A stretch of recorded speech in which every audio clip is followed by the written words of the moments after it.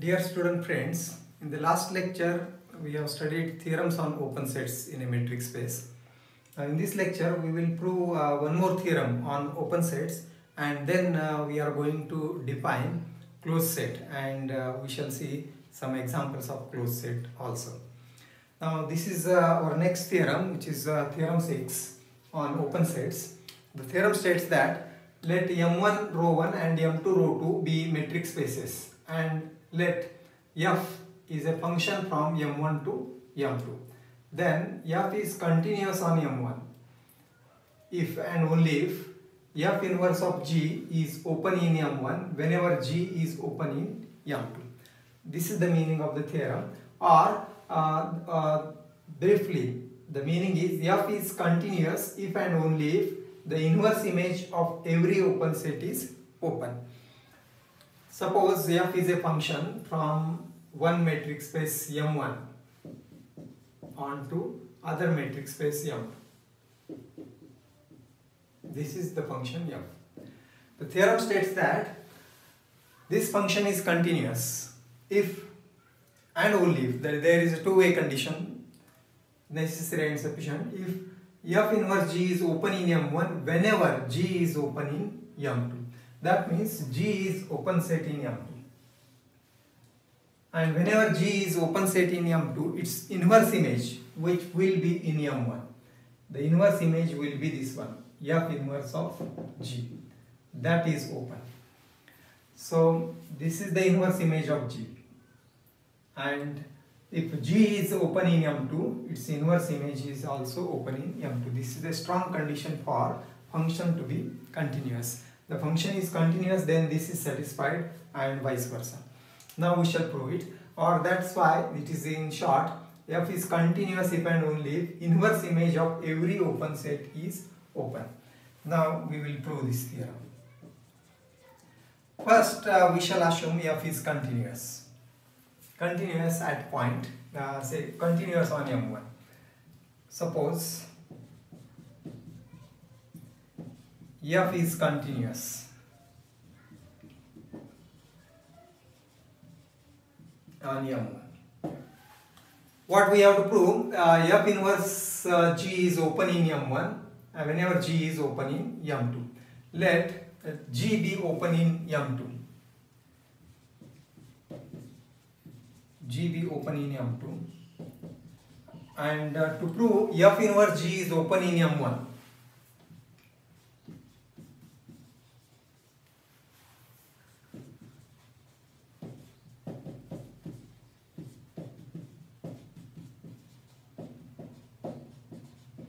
we have to show that a open ball around X if X belongs to G then an open ball around X is contained in F inverse G.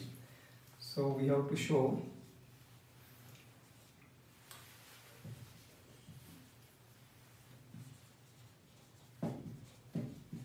we have to show that for every X belongs to G there is an open ball around X of radius R which is contained in F inverse of G. So this is what we have to show. That means X is a point in uh, uh, C. For every X uh, uh belongs to uh, G, we have considered it is in G, uh, G inverse, not G. X belongs to G inverse. For every X belongs to G inverse, there is an open ball B of radius r about x which is contained in f inverse g. So x is this point here and we have to show there is an open ball around this x of radius r which is again contained in f inverse g. So this is what we have to show. Now further what uh, we shall consider is a x belongs to f inverse g. So this implies the image of x under f will be some uh, element y that is belongs to g. This implies y is equal to f of x under f. y is f of x and that belongs to g. Now g is open that we have written. here G be open and therefore an open ball around Y of radius S is entirely contained in G. So this implies the open ball, there is a open ball, there is B, open ball of radius Y around S contained in G. The reason for this is since G is open. G is open in F. Now, uh, F is continuous, we are assumed. F is continuous on M1. And uh, there is uh, uh, theorem we have written earlier about uh, continuous function. Uh, the function is continuous if and only if an open ball around this uh, y will contain an open ball around x in M1. So that is uh, the condition of continuous function. So since f is continuous,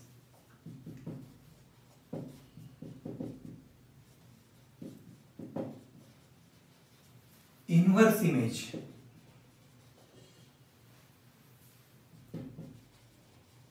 inverse image of this open ball contains an open ball around x. Inverse image of uh, open ball of radius s around y contains so this uh, this open ball about s contains bxr open ball about x. And thus what uh, actually we have is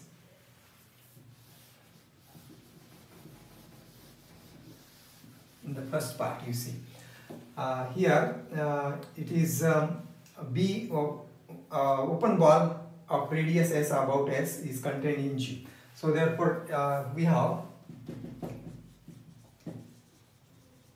F inverse of G contain is uh, contains it contains inverse image. It contains inverse image of uh, this open ball. That is f inverse of open ball b of radius s around y and this contains b open ball of radius r about x now you see this uh, f inverse of G uh, contains the inverse image of this uh, G uh, uh, that is open ball. This is the open ball, its inverse image is this one. This is inverse image of this open ball and that inverse image contains this open ball that is uh, which is open ball around R. This is the condition of continuity that we have written in earlier theorem. So a function is continuous if inverse image of every open ball a function is actually a function is continuous about a point A if uh, every inverse image of uh, uh, f of A contains an open ball around A. Instead of uh, y here it, we can assume it as f of x. Inverse image of uh, the open ball around f of x contains an open ball around x and that is what we have written. Its inverse image of G falls in this M1 and that contains inverse image of uh, this open ball is written as this one b that is a inverse image of inverse of b of uh, ys and that open uh, inverse image of that open ball contains this open ball which is b of x and r. And thus or this contains means this is a subset. So that is a open ball of radius r about x is contained in f inverse of g. And this is what we have to prove. So we have to prove that for x belongs to f inverse of g there is uh, open ball b of radius r around x which is contained in f inverse g and this proves the first part. So that is uh, f inverse g is open in m1 then g is uh, whenever g is open. So this in this proves f inverse g is open. So therefore f inverse g is open in M and that completes the uh, proof for the first part. Now we shall consider the second. what is the second part? That is converse part. Suppose uh, every uh, suppose uh, f inverse g is open in m1 whenever g is open in m. That we shall start. Now second part.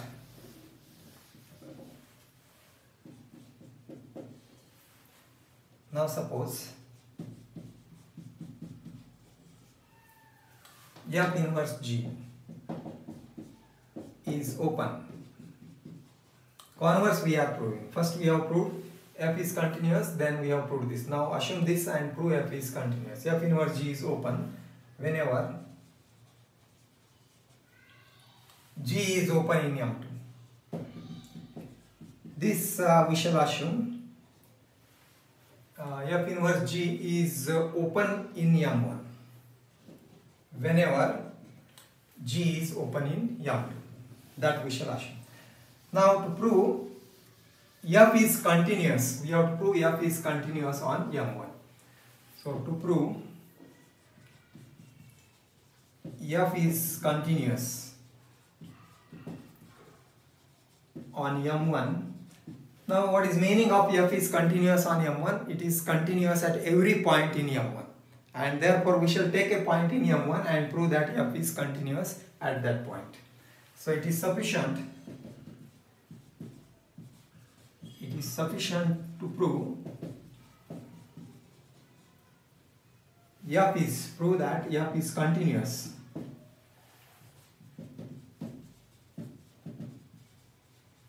At any arbitrary point random point any arbitrary point a belongs to m1 so this is what we have to prove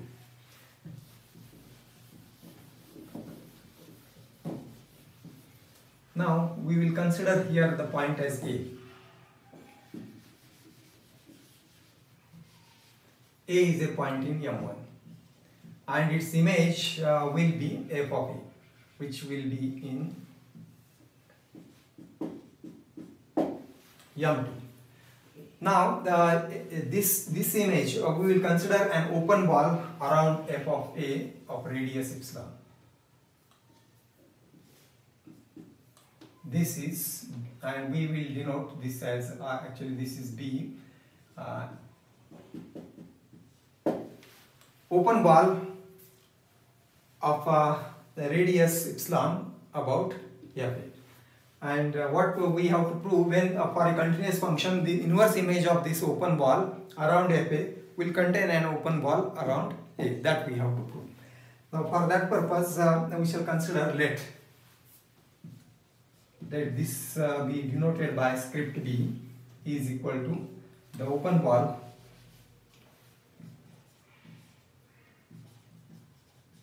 of radius epsilon. Let uh, be a, an open ball. Open ball about a in M2 then we know that open ball is open set. Then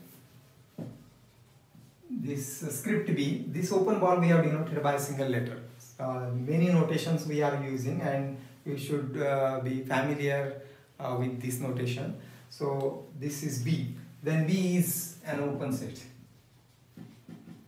Open set in M2 open ball are open sets that we have proved. Open set in M2 and what is our assumption? If uh, G is open in M2, F its inverse image is open in M1. So therefore its inverse image is open in M1.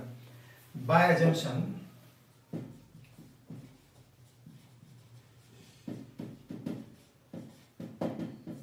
F inverse of B, script B, is open in M1. So this is uh, actually we have denoted by B, script B and its inverse image is in this M1. So this is F inverse of script B. and this is open. Now A belongs to in that because uh, uh, inverse image of FA is A and A must be in this uh, open set. A belongs to F inverse of B and it is a open, it is open. So therefore an open uh, ball around A must be contained in F inverse uh, B. Therefore, there is an open ball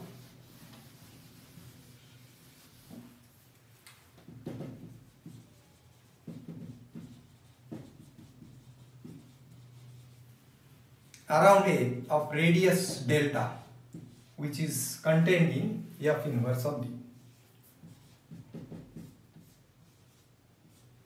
So that is open ball around A of radius delta.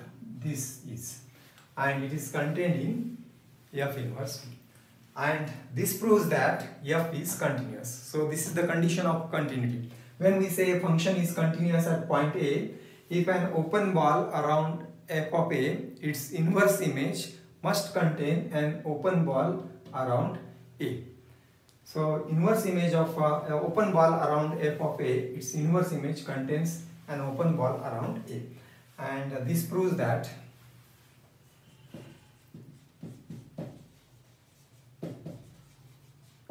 f is continuous. Continuous at A and belongs to M1. So A is in M1 and hence this completes the proof of the theorem. We have proved both the parts. So this completes the proof.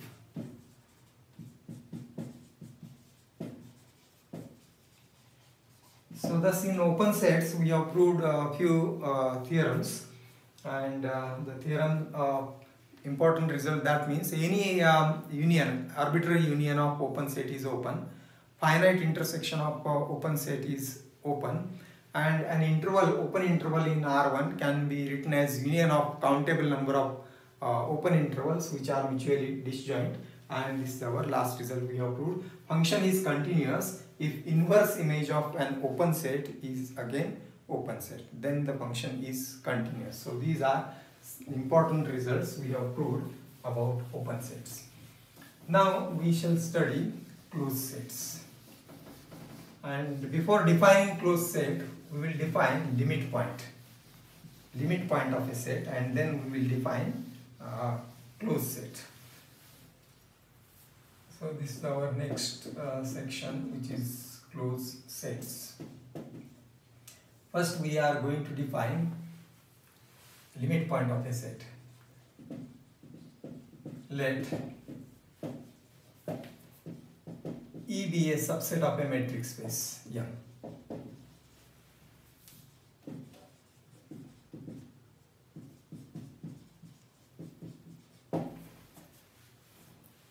A point x belongs to M is called a limit point. Limit point of E if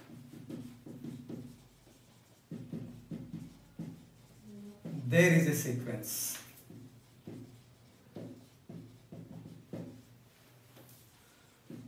xn of points of E which converges to x.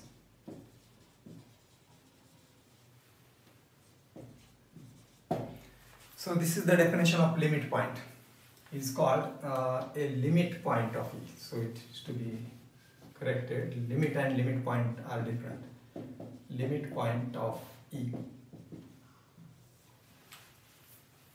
The E is a subset of uh, metric space M. Uh, so that means uh, if, uh, if uh, this is a metric space M and then E will be a subset of uh, M. And a limit point C that is not necessary it must be in E. It must be maybe in E or maybe outside E. So this is a point X belongs to E. Not necessary always outside E, maybe inside or outside E. E is called a limit point of E if there is a sequence xn. There is a sequence xn which converges towards x that is x1, x2 etc and that approaches towards x. Then x is called the limit point of E. So uh, we shall consider the set further. One more notation we shall define the set E bar of all limit points.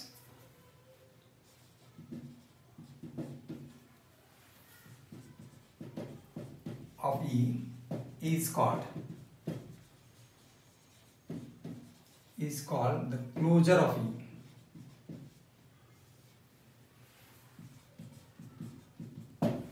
So this is one more definition we have uh, written.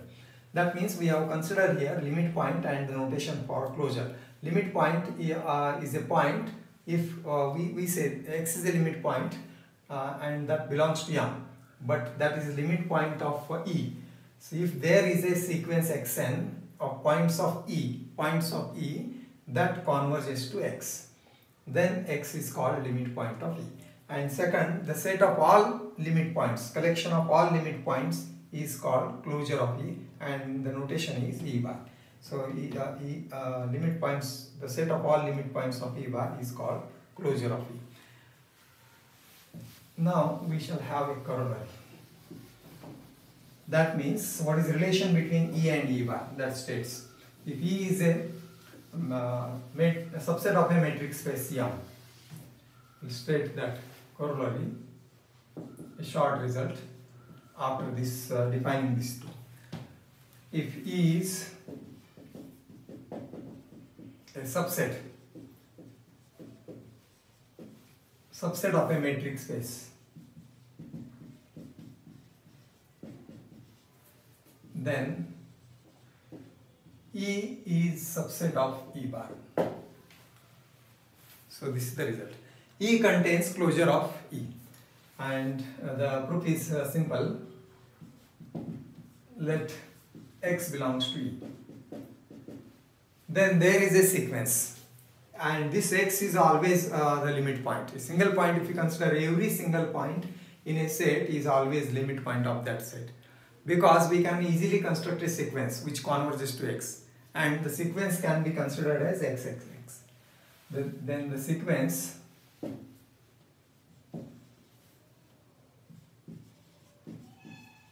the sequence whose points are all x x x x. Converges to x.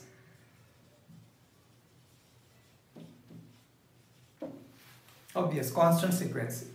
And it converges to x.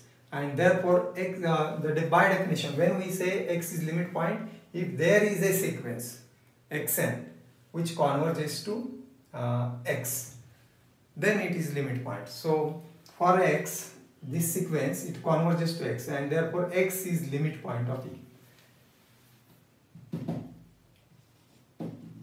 X is a limit point of e.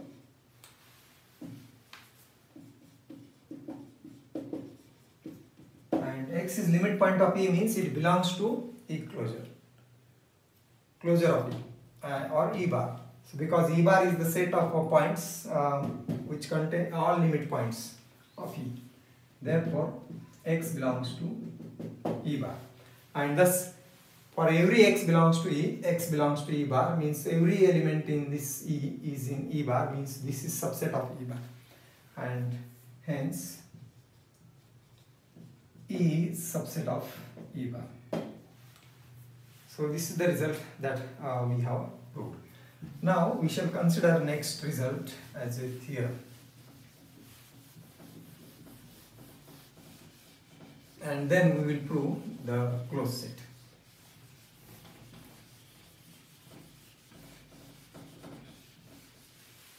Or uh, see, uh, we will state that as a theorem uh, in uh, next uh, theorem as theorem number 7 in continuation.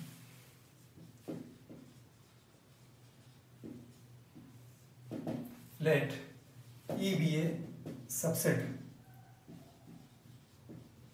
of a metric space M.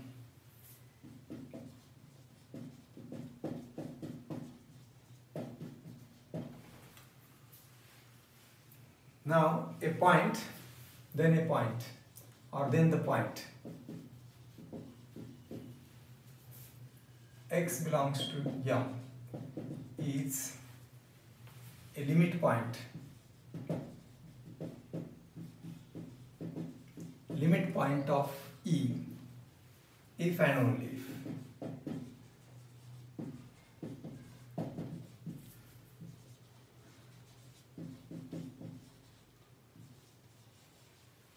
if and only if every open ball B of x and r contains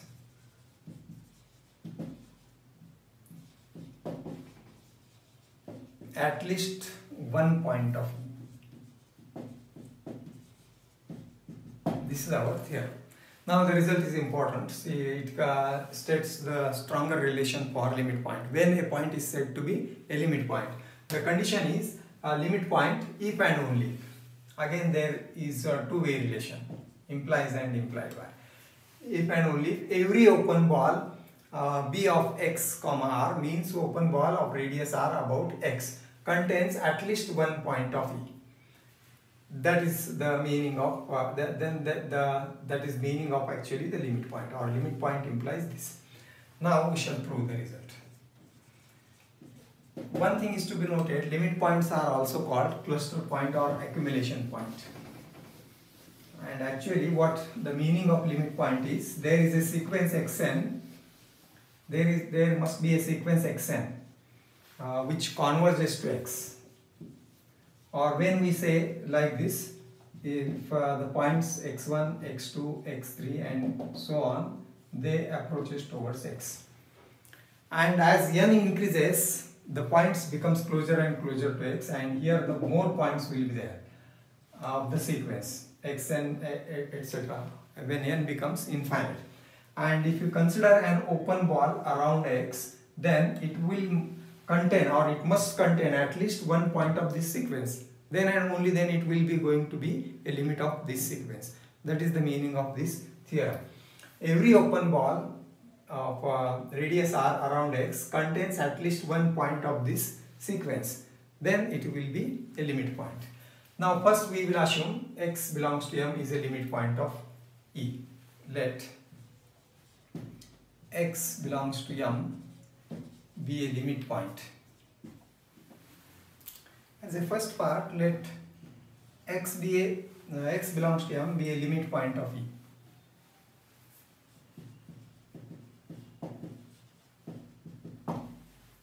And because x is a limit point of E, there is a sequence xm by definition of limit point.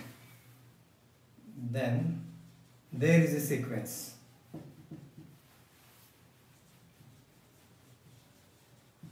sequence xn of points of E.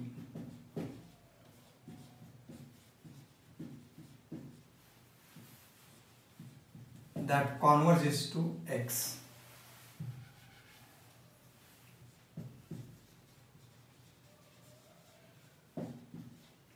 That means xn converges to x and we have to prove that any open every open ball b of x comma r contains at least one point of E. Then the open ball.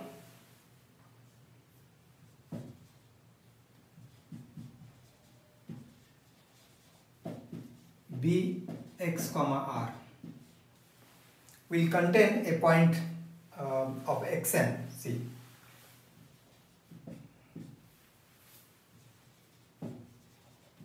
will contain xn if rho of xn and x is less than r. So that is only we have to consider. If xn is a uh, point of uh, E, then that will be in this open ball if the distance between xn and x is less than r. So that means if uh, this is the radius r and if xn and x is within radius r, then xn will be in open ball. And thus, therefore, B the open ball B of radius r around x contains a point of E.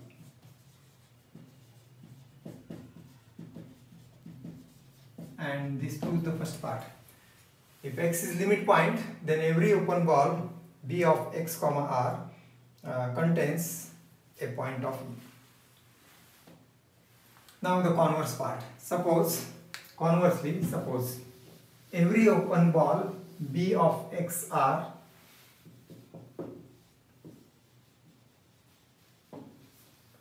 suppose.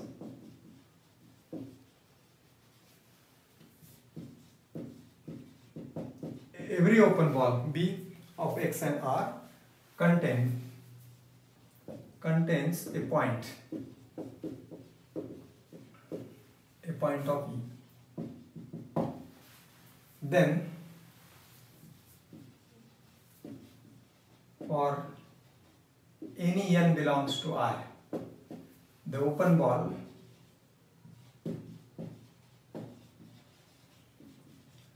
of radius 1 by n this open ball will contains a point xn belonging to E. So by, by the condition that every open ball contains a point of E. So therefore this is an open ball, it will contain some point xn in E. But what that implies, xn is in this open ball means, therefore the distance of xn and x is less than 1 by n. Rho of xn and x is less than 1 by n. And now what this shows, the distance between xn and xn, uh, xn and x can be made as small as n increases. So if n increases, this number becomes very small and that means this is approaching, xn is approaching towards x. So this shows that by the definition of limit, distance between xn and x is becoming smaller and smaller. As n increases, this becomes smaller and smaller. And this shows that the sequence xn of points of uh, xn belongs to E of points in E converges to x and hence x is the limit point of E.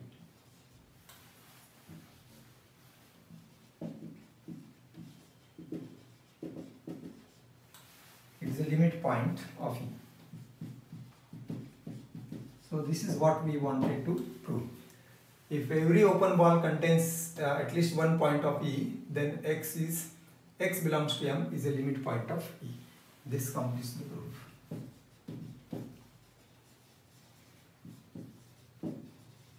Now with this theorem, uh, see, we will uh, consider the definition of closed set after proving the result. Now we will consider definition of closed set.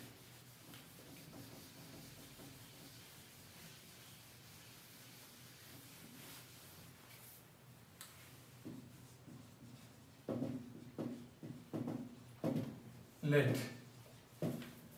E be a subset of a metric space M.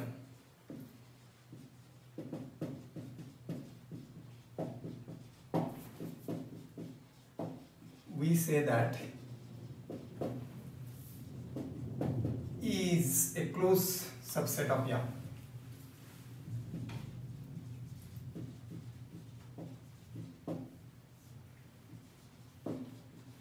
If E is equal to closure of E. Defined closure of E earlier. And uh, what is closure of E? Uh, set of all limit points of E. And so E is equal to the set of all limit points of E means E must contain all its limit points. That is in other words,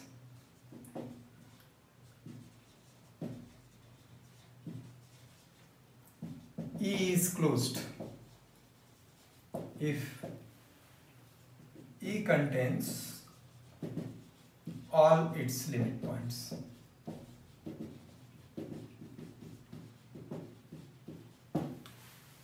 So this is the definition of a closed set. Now, uh, see, we have earlier proved that E is subset of E bar or closure of E. That, that is a corollary we have proved. Now, when we shall say these will be equal, for equality, E bar must also be a subset of E. And we need only to prove E bar is subset of E, then E will be closed. So, we know that E is subset of E bar. This is proved earlier. And therefore, to prove E is closed, it is enough to prove or sufficient to prove.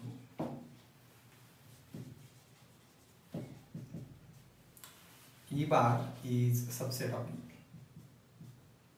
or closure of E is subset of E.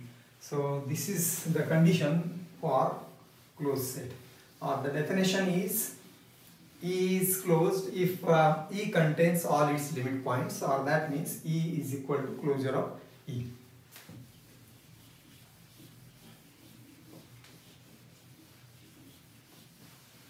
Now uh, see we have, we have E is uh, contained in E bar but uh, E bar is, will not be contained always contained in E. Now uh, for ex uh, examples of for examples of uh, closed sets we will consider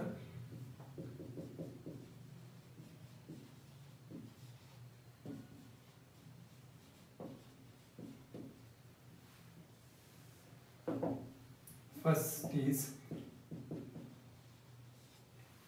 every closed interval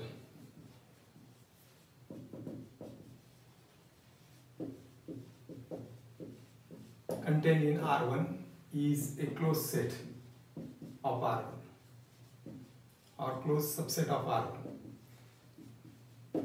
Every closed interval is a closed subset of R1 or in uh, R1 the meaning is simple closed subsets are or closed intervals are closed sets. For example, this interval 1, 3 is a closed set, closed set in R1 because uh, it contains all its limit points. But on the other hand, if you consider the open interval this 1, 3, then it is not closed, it is open set. That's why the word itself specifies the intervals which are closed and which are open. So this is closed because it is a closed interval. It contains all its limit points and uh, this is open because uh, this uh, will not contain all its limit points. For example, if you consider the sequence uh, 1 minus, uh, 1 by n, then that sequence uh, see will tend towards see or 1, 1 plus 1 by n, we will consider 1 plus 1 by n. Then this is a sequence of points in 1 and 3 and what about the limit of this sequence as uh, n tends to infinity this tends to 0 and its limit is 1 so this is the limit but this 1 is not in this set. N points in open interval n points are not uh, this in, in this interval. And therefore the interval is called open. Its ends are open. And here this is closed means its end points are, are there inside the interval. So therefore it is closed. Or if you consider as uh, example, uh, simple example as uh, interval 0 and 1. Now we have a sequence 1 by n is a sequence of points in this interval uh, say a. But uh, 0 is 0 is a limit point of uh, a. Then it tends to 0 or is a sequence in A and this tends to 0 but 0 does not belong to A. 0 does not belong to A. And that means this uh, set does not contain all its limit points. This is a limit point. 0 is a limit point but 0 is not in A. Therefore this set is not closed. Is not closed and to make it closed we have to only consider its closed interval. Now it uh, 0 is a uh, limit point and it is uh, there in this closed set. 1 is limit point and it is there in this closed set. So every closed interval is closed subset of R1. Every open interval is open subset of R1. That are simplest examples of open and closed sets. Now another example can be considered as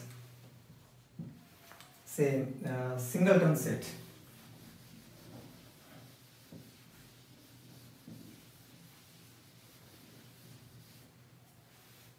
Is uh, see uh, this uh, set is set X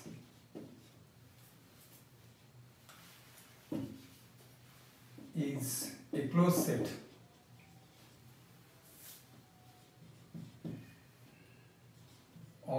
every metric m x belongs to m where m is metric